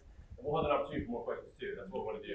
Okay. So those five people, we shoot them and then we bring you up. Is that the? Yes. No. Why don't we do a transition? Because I know we want to do some of the. We do. Yes. It's a great time to do transition. Perfect. Yes. Because uh, again, uh, I want to be mindful of everybody's time, but we also love having you here. So. Oh, thank cool. you. And, uh, Yeah. Yeah. Yeah. Yeah. So don't know th- if this you- is like a, a wanna- mini panel. Yeah, how do you well how do you want to do this part? Did you want to demonstrate at all, or did you I do. wanna wing I, it, uh, no, I can demonstrate, but I think we're going to do like a little pee break. That's what I was Sounds great. originally what- thinking. I think it'd be a great idea. Yes, yeah, yeah, yeah. Because it will take a few minutes to make that work, and I think I can safely sit now. All right, for a cool. moment. Well, then, do you want to break now and then come back and do that? No, let's do the questions while they're on people's Okay. minds. All right, yes. I Okay. just didn't know how you wanted to play it. That's great. Yeah, yeah, yeah. And while they're doing, I'll ask. I'll answer your question while we're waiting for Yeah, them to organize. Yes. Questions. We'll have a transition. I noticed, I noticed on the slides you went through really fast, it was on the ones about age, there was a note about like visual ability decreases Yeah. with age. And it got me thinking about like, well, like people's, like people's eyesight decreases with age. So I was wondering, like in your study at all, or even hmm. hypothetically, out of the like studies that you've done, do you notice adaptations in the way the brain works based on maybe physical differences? So if like if there's a type that is like like uh, female ENFPs are more sensitive to auditory Right, right. tonality, so like, would a hearing impaired female ENFP be adaptation? Absolutely, I, I'm sure. Like, and I'm not saying that from my own research. Is just reading in general. We know that people are going to try and work around something that would be a disability, including like damage from a stroke. Um, absolutely, if they're deaf or they're blind, whatever it is, yeah, people will work around that. When I talk about decrease in vision ability, is that there are these two regions in the back of the brain that are involved with vision. It's pretty big, and they need to coordinate with each other. You know, like left and right field of view. So when you're driving, you need to coordinate these fields of view normally in, in most people i mean pretty much everybody under age 55 or 60 those go really fast they communicate some of the fastest parts of the brain because otherwise you can be like do do do and something's coming along and you get hit because you don't even see it but the speed tends to decrease with age and i have seen people and it isn't always because of age so i had somebody come in and he had poor connectivity there and he's really strongly dyslexic so it can be something, it can be like there's some other vision issue the way it shows up. It isn't just like you shouldn't be driving. Um, similar, people who are older can still have a strong connection, and maybe decreased eyesight could contribute to lack of coordination. Also, things like Parkinson's, absolutely Parkinson's, especially earlier stages, disrupts the firing in the brain, so the person looks slower because they're waiting for like a good connection to happen. They keep missing each other. So there's a variety of things that it's involved with. Yeah. But do you think a brain would adapt over time? Like if, if vision decreases, would the brain then change modalities, or would there just be kind of like Well, the thought is that, as particularly after age 30, that the brain is less malleable. Period, less plastic. Um, that doesn't mean you stop, but anything that happens, like when the person's five, like tremendous changes can happen compared to 50. And so, if there are adaptations, there's probably going to be smaller and less. There are some things which we know now can stimulate neuron growth and change that. Um, and generally, a rich environment for people will keep their brain a little bit more active. Yeah. Yeah. Um, once you do you intend to study autism? I better, or like I'm going to have like literally millions of people on the internet being like, "Ah." yeah. Once you've completed um, or gathered, you know, a lot of data within all 16 types, do you hypothesize that I mean, because ENFP you said is one the most generalized type, and so maybe we're seeing this more generalized over time brain function. Do you hypothesize to see that same pattern throughout, or do you think maybe one of the most specialized types might specialize? Um, yeah, you know, so that's one of those questions where some of it is like the the lazy part of me is like, let them all be ENFPs, please.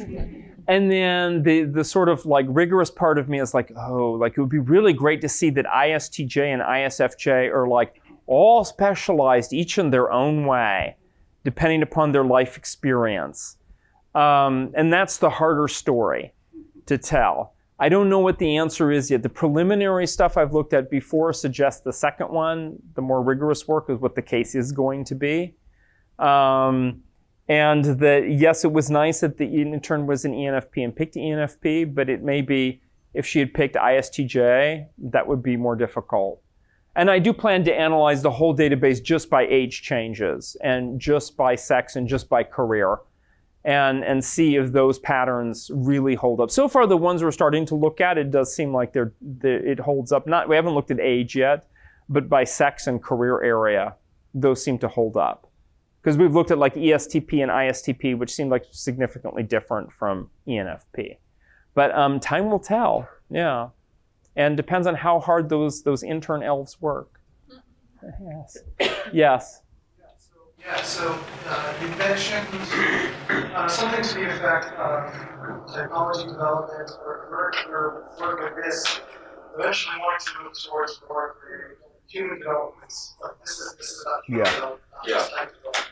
Um, and there was a slide where you mentioned briefly about there was an aspect of the NFPs that is linked to or correlates to an idea of uh, how ADD shows up in kids or, or Yeah, yeah. um, so I'm ultimately curious if, if, if some of this research could lead to the help, helpful understanding of maybe a link between things like to something like intuition or some sort of uh, assistance in um, helping us understand the link between sort of uh, high functioning mood disorders and ADHD or some of the things like that and psychology. Does that It does, um, and I predict somebody else will do that work. Um, in part because I've tried to screen out people who have medical, you know, like clinical uh, diagnoses, because then I feel like they're going to skew the results. I have like one example of somebody with Down syndrome where that was not easy. Um, and then I've had a couple of people with on the spectrum with basically Asperger's. Um, and, and there's interesting phenomena that happen with those. Uh, there are people I've had that, yeah, they had ADD, but they don't have it now, or they take a medication to offset that. Um, and so I just don't have very. I mean, literally, I can count like half a dozen people in the whole database. And I just sort of did it more out of curiosity. Like the one person I had come in was taking Prozac. And I just wanted to see like what, what happens. And as, as, as I had predicted and read, like the brain activity was really muted during the session. It's like watching the ocean on a really still day. And I thought, but that, th- what are we going to get? But fortunately, when we did the computer analysis underneath and it showed the brain wiring, the brain wiring was normal, like you would expect for his his INTJ preferences, and that's we got that. So, um, uh, and, and my intention once I like look through all of the data I have now and do like this level of detail is like, yeah, I'm, I otherwise I'm going to go nuts, because yeah. So I'll let somebody else do that. And there, there are people who are actually much more knowledgeable about that. And I think it's important to know, like, I'm not actually a neuroscientist. I'm just doing neuroscience research. It's not my training. I'm definitely not diagnosing or treating disease. And I find it difficult to work with those people too. Like, I have had somebody, um, two people to round it out. Like, one who came in, he was diagnosed with depression, anxiety, and, uh, oh, something else that wasn't good. Um, and it was difficult for him to even do the one hour because he's like, oh, I feel it's like, you know, he had like psychosomatic symptoms during the session and then was becoming anxious and all. that. I'm like, I, I don't know how to deal with in that kind of situation with clients. Like I'm a fun people person, not like a take care of you people person. Yeah. And so uh, I, I really suspect, and I really hope that once I get to a certain point, that will inspire other people to go and do that. Cool. So, uh, by the way, great questions. We could probably even have some more in a little bit. And I- I'll be here tomorrow. Yeah. You will be here tomorrow. Yeah. Oh, I thought you had to fly out tomorrow. That's Oh, I- great. I, do have to fly out tomorrow, and I'll be here. I thought it was like first thing in the morning. You were gone. That's fantastic. I, had don't no do idea. anything first thing in the morning. yeah, I go to yoga in the morning. That's what I do. Yes. I had no idea you were here. Thank okay, you. that's Yeah. great. Uh, you uh, like kind of what Christian uh, alluded to when he asked you this idea of human growth, this idea Mm. of growth. I know that's something that's very much top of your mind. Yeah, yeah. Um, it's obviously top of our mind too. As an INTJ, Yeah. I just want to ask you a personal story. What are Mhm. some of the things you personally have done that have really been growth avenues for you? Mm. Whether growing your type or your person, just your person in general. But what has worked Yeah. for you? What's been some of the things you've really latched onto? Have been really those impactful things? Um, thank you. I've thought of this question before. Um, I think I could give a, a reasonably short list. I would say one is spending a few years growing up in the Caribbean in probably what's an ESFP culture was really fantastic and very healthy um, because it served as a nice counterpoint in a time when I was exposed to school and social values and so on that were very balancing. It was very nice. Um, I would say uh, like role playing games, not video games, like tabletop, like socializing, thinking, designing, all of that had a huge positive impact. Uh, eventually allowed me to not only do stuff in games, but do computer modeling and simulation in my adult life. Uh, very, very helpful. Um, neurolinguistic programming, and not that I didn't get certified in that or whatever, but became enough familiar with it, took some workshops, was just became aware of it, that there are ways to use language that can limit us or can free us. Um, and, and that was very powerful. Uh, I'd say an engineering degree helped me a lot. And I knew that I probably wasn't going to be an engineer in the traditional sense, but it's a great, torturous, but great degree. Um, uh, I would say knowing type, that that was a huge, huge impact from the very beginning with it. Um, it really, unfortunately, my natural intuitions about how I thought people were similar or different fell very neatly into type. Like I didn't think about it a lot, but when I was exposed to type, this wasn't like some huge like counter to everything I thought. I didn't have a different way that I organized. I already saw the world as like, well, they're nerds and they're jocks and they're art types. And basically, if you saw like, what was that movie in the 80s where they're all stuck in school and Breakfast Club. Breakfast Club. I mean, that was my model, and actually, that's not so far away. It's a stereotype, but it's not so far away from type. Um, and I would say, in the the ability then to work with people in the type community, like Linda Berens and Roger Pearman, and all of these people who are really, uh, really long-term researchers, was really great. Um, I would say systems thinking, and so the way some of you may be exposed to that today is through integral theory. That's not how I was exposed but this idea of chaos and complexity that the world you don't just have rules and you don't just have statistical analysis like there's a level above that the, the world can actually make sense that there are patterns that there's complexity that there's things like feedback that there's um, sometimes a very small thing that you do can have a huge impact. We know that it's chaos like from jurassic park. You know th- those kinds of concepts that really shaped like the potential to see everything. Uh, I would say I was very lucky to grow up and uh, with my mom as a nutritional biochemist. So she was talking out against high fructose corn syrup in the late 70s, you know, decades before the culture was having a conversation about it. So I grew up in a household where the food was healthy and there was variety, and that was all very good. Uh, I would say that had a huge impact. So I'm just not talking about the mind, I'm also talking about body and, and all of that. Um, uh, I would say a little bit later, uh, there were certain things I did, like I really enjoyed teaching. But what UCLA taught me really was about the nature of large institutions, like our government, like probably any institution in the history of the world. That as a student, I thought it was about learning and getting A's, of course, and graduating, getting the piece of paper, but learning. And then I began to understand it's about research. No, it's about money. No, it's not even about money, it's about ego and power. And that's in the nature of institutions. I mean, I've seen tremendous, other people will tell you, I knew somebody, know someone who works, who worked in accounting at UCLA. There's like tremendous misconduct that happens there. And so I'm not surprised by those kinds of things. So there's a certain realism, and I'd say that had a huge impact. Um, especially for an NT, I'm like, yeah, I'm not surprised. you know, it's sad and it's disappointing because it's so, I see a tremendous, like when in our lifespan, in, in the traditional institutions, are people exposed to ethics? I don't mean ethics as a course that you're going to study and get an A on. I mean, like, you held up to ethical behavior. Ethics, lawyers take ethics classes, but then you talk to a lawyer and they're going to say, well, it's all about how much you can lie and get away with. And, and so that's very sad. So there's a certain school of hard knocks. Um, You'd mentioned something at dinner I didn't want to bring up, but if you Yeah. wanted to mention that as a growth that you had said, I I don't want to. yeah, no. So I'm, I have a few more things to Okay. put in. Um, one, is, the other thing is, I would just say, and all, all of my very long-term relationships are lessons in type development. Yeah. Um, and uh, you know, the the reality setting in that when I was younger, I sort of cognitively understood what type development was about. And now to really begin to understand what it's about, I'm like, no wonder it's called midlife and after. So I would say midlife is definitely a period where I'm like, oh, that's what feeling is about. The feeling like vulnerability. It sucks, but it's fantastic. but it sucks.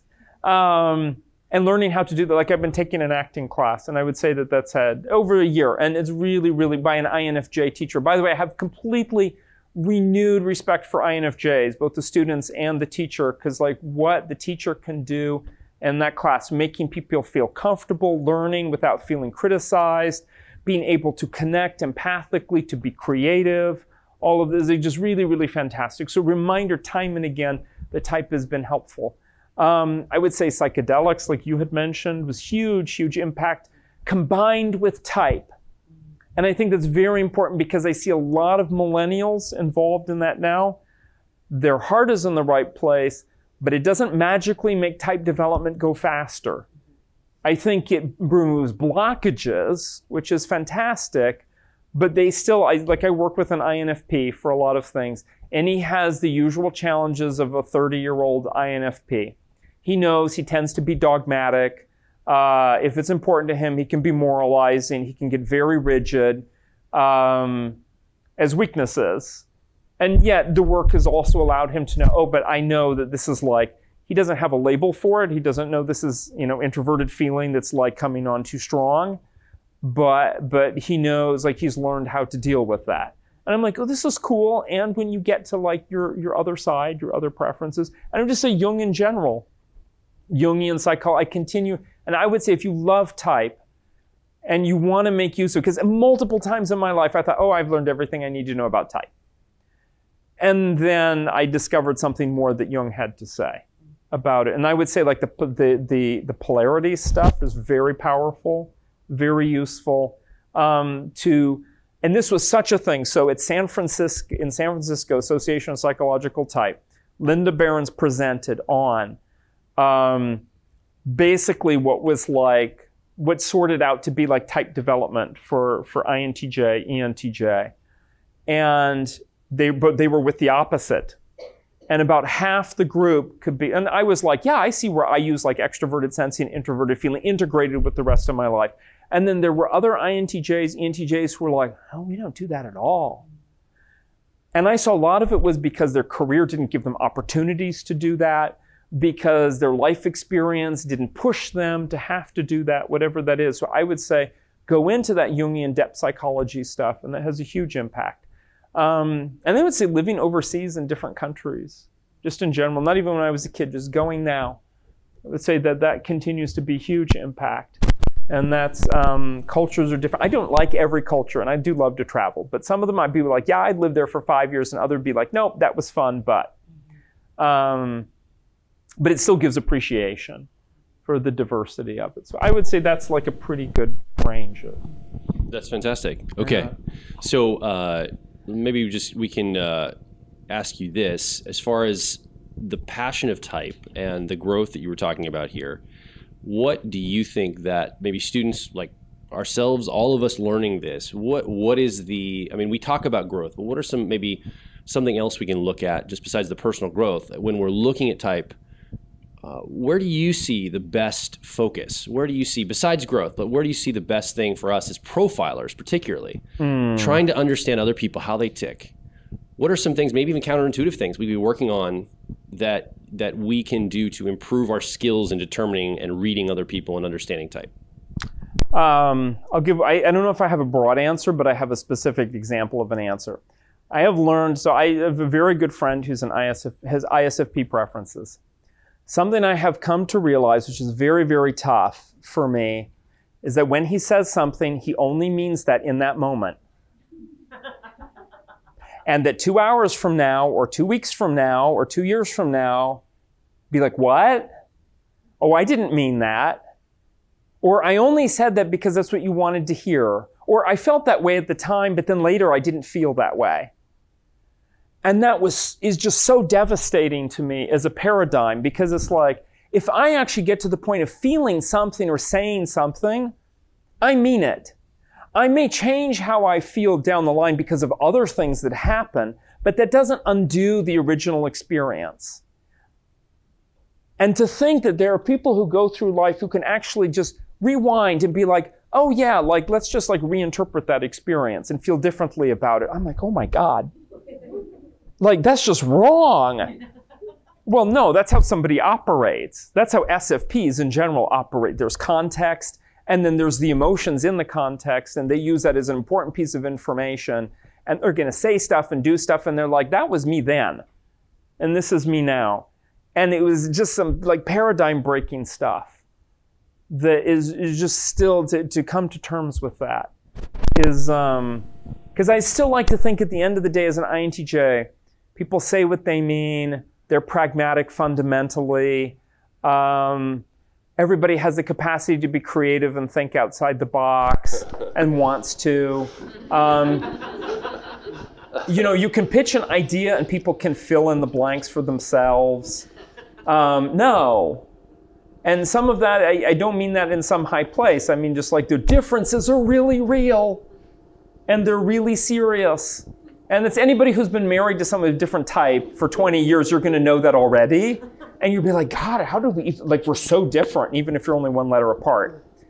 And, and it's just being hit by something so strong as that, that just what was said only was true in that context, in that moment. And yet, that's what allows the ISFP to be 100% alive in that moment, is to simply trust and not think about consequences. Or do I really mean this or whatever it is? It's just like it goes from A to B, and there's no like filters or gates or checkpoints or whatever in between. And that's just, uh, I would say that's huge, is the appreciation of that. And I would say if you want to learn more about that, just and I've done this at times where I picked out, like at one point, I'm like, okay, I think I'm sort of ready to not be intimidated by ESTPs. Let me focus on ESTPs. And the first thing I tried to focus on was just seeing e- ESTPs in my environment. Like noticing, oh, there's an ESTP probably. Or like at a meeting or something, let me to go and talk to that ESTP. And remembering the things I had learned in type, like already have a sense of like being able to move quickly and like what do I want out of the situation and not sounding like a bumbling idiot, you know, when I get to this person. And and just it's to stretch and to spend time with people who are very different types. Because so many, I mean, I see people on the internet who type stuff like, I don't have any sensing friends. And they, they wear that as a badge of honor. And I'm like, that's a sort of a handicap long term. I understand where you are now. Maybe you were burned by something or you're like looking for like, you know, similarity as a way to ground yourself. And I get that. But if you really, really want to, to understand the different types, you have to spend time with them.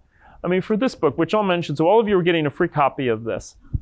Go and pick up. Okay, so this is based upon, there are four versions of every type.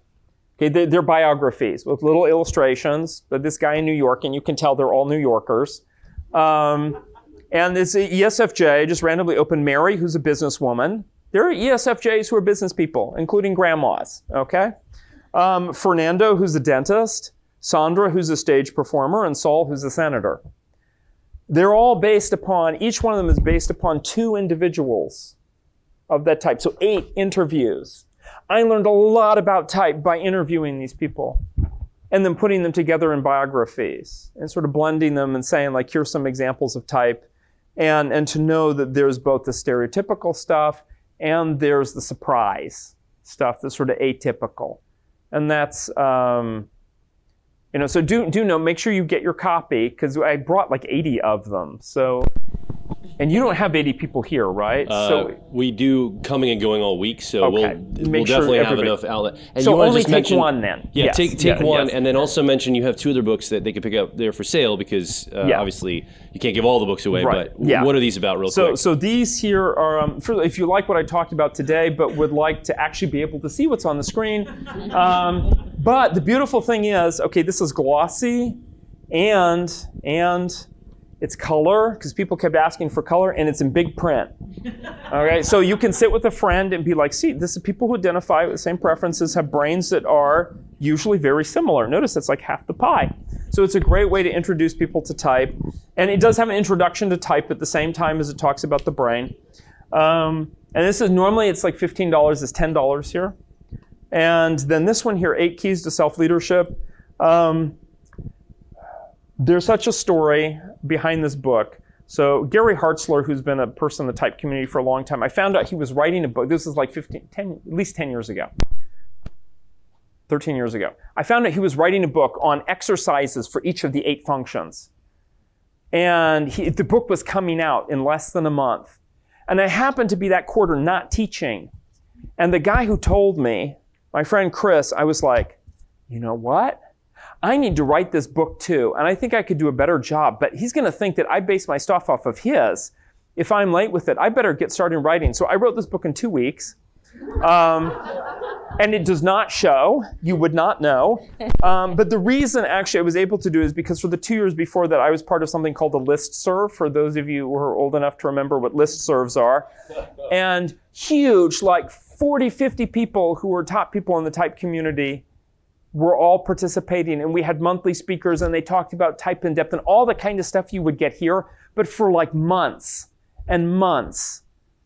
And i went away and my brain was like lenore thomson is over here and danielle poirier is over here and like all the things that they said and it just like and and uh, I, w- I would sleep and write and exercise and then sleep and write and exercise and i got in some eating and so the, the important part is it's a great story about introverted intuiting. That's why I told you.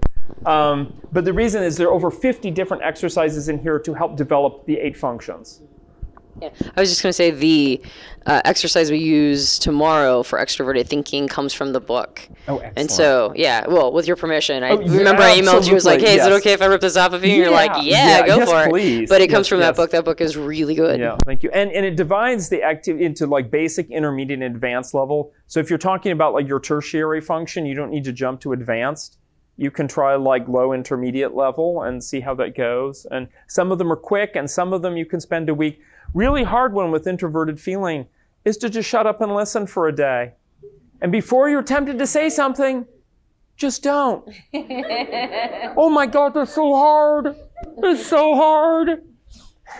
So there, there, some of them are easy and short like that, and then other ones really are like in depth and thinking about what does your conscience say about something, or if you're building a model, like is the model elegant? Like there's, it covers the whole range of things.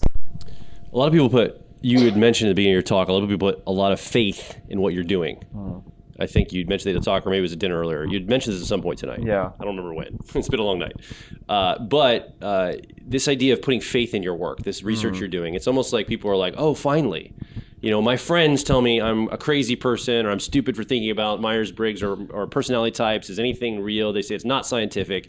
But there's this guy Dario, Dr. Dario Nardi doing brain Yeah, yeah. research, and he's going to prove once and for all we can hook people up to brain scan No. machines. He's going to prove that Yeah. type exists.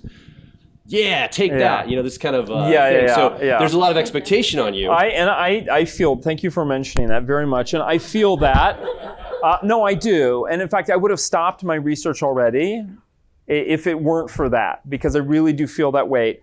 Uh, I think ultimately Jung uh, in type to some extent will triumph over things like five factor model, which are sort of sterile and don't give people anything to run with.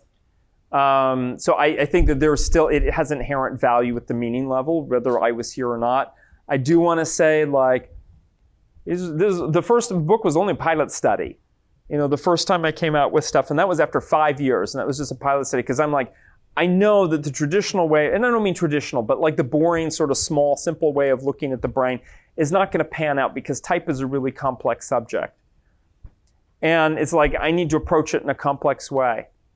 And even now, I'm just like, if I can get to this point with all 16 types, no matter how that pans out, and just like be able to present that, I will say that, and, and I can say now that the brain research says that type influences your result. There is a correlation, even to say not causation, there is a correlation between brain wiring, brain activity, and your type. That statistically, you are more likely to have active brain wiring between or activity in regions that are sort of clearly you look at what they do and like those are going to be supporting intuiting or thinking or sensing or introverted sensing or whatever it is. I do believe there's another level beyond that. Um, people ask, you know, I did a pilot study, didn't publish the pilot study in a journal because like you don't publish pilot studies. And it began in a very messy way. It's just like a training lab. At this point, not a lot of journals support type. And when I do publish, I actually probably won't start even mentioning type at the beginning. I'll be looking.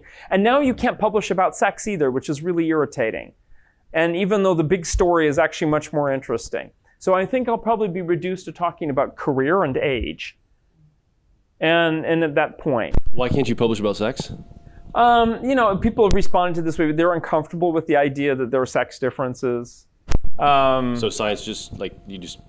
Oh, like, it's not. It's don't a science issue. Like it, it's it's a, it's a public readership issue. Gotcha. Because Yeah. you would have uh, maybe some backlash, or the appeal to the science would be challenged if you went down Yeah, that road. It's, yeah, In other words, it's people would be unable to hear it because it would trigger them in some Right. way. Yes. Okay. Yes. Okay. And not that it would be challenged technically. It's not because a whole bunch of medical research always looks at like men and women are different because we have different hormones and Sure. like this and that, and we see the differences disappear probably anyway. So I think it makes sense. Um, but I would say uh, I'm just trying to give an example of what we can do. Yeah. And I do believe, and I had pressure from some people who were very the pro type, and they're like, "Why aren't you finished yet?" I'm like, because what I'm doing is really hard. it's really hard. And a lot of them are really irritating things that I, as intuiting preference, don't like to deal with. Like I've used two different machines, and one of them has it measures 16 regions, and the other one measures 19 regions, or you can add a 20th region. And I'm like, then I have to reconcile all the data, and I have to do it in a way that's like defensible. And then every person has a different normal level, so results have to be normalized, but like you don't want to over massage your normalized data because then you'll get criticism. So there's like all these things to think about. And then it's like, oh my God, ESTJs are like the modal type in the population for men in America. And I just, it's so hard to get them. I've even tried with the military. And the military was like, we'd love to, but we're already enrolled in like three other neuroscience studies. Mm. And that's just so, so there, I, I'm just going to say, I'm doing my best. I'm aware of it. Uh, I hope I inspire people. The technology is changing all the time. So I'm going to tell you after I publish with this, I would love for somebody else, like 10 years from now, to run with it with some machine that measures like 900 regions or whatever it is that they're going to have um, and do that. And I can be in the South Pacific somewhere. So remember last night we were talking about what are you going to do? What are you going to do with this? And if somebody wants to be ambitious and follow in his stead, Nardi is looking forward to retirement when it comes to this. and there's some really interesting things going on, I think. Um, you're leaving tomorrow, you said? I'm, Tomorrow I have a, like a 5:30 flight in Okay. the afternoon. Oh, in the afternoon. Okay. So, um, Melissa, what time does your friend come in for your profiling session tomorrow morning? Nine. Okay. Um, so uh, it's getting kind of late, Yeah. and I think we didn't people know are you were wearing down. tomorrow, so we're. I gonna- didn't know that. Oh, okay. Would you be willing to? Would you be willing to do the profiling session first in the morning, and then Nardi, do, uh, uh, Daria, would you be willing to do your? Um, I don't know. Why I've just always called you Nardi, like since the very beginning It- for it's, ten, the for ten years. Is, it's not actually the, the last name I grew up with for most of my life. Oh, interesting. So it's a weird experience. Yeah. Yeah. I had a bunch of people call me Dodge, and I'm like, that's not the name I grew up with either. yeah. Um, so, uh, would you be willing to do the demonstration tomorrow? I think that's a fantastic idea. I think idea. so too. And uh, how long does it take? Um, Hour, no, 90 fi- no, 15 minutes would be great. There you go. Yeah. So why don't we do your profiling session in the morning, then we'll do a post game, and then we'll do your demonstration. And I think that that would probably okay. Yeah, and I'm already losing my voice Okay. anyway. So All right. That's fantastic. All right. Thank you, uh, Dr. Nardi, for being here. Absolutely. Yeah. Thank you for inviting me. Yeah.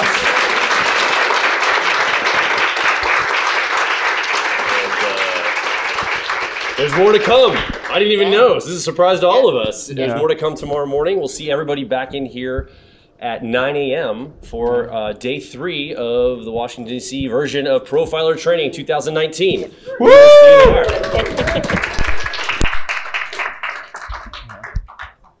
all right. That was thank really you. good because I'm like, I think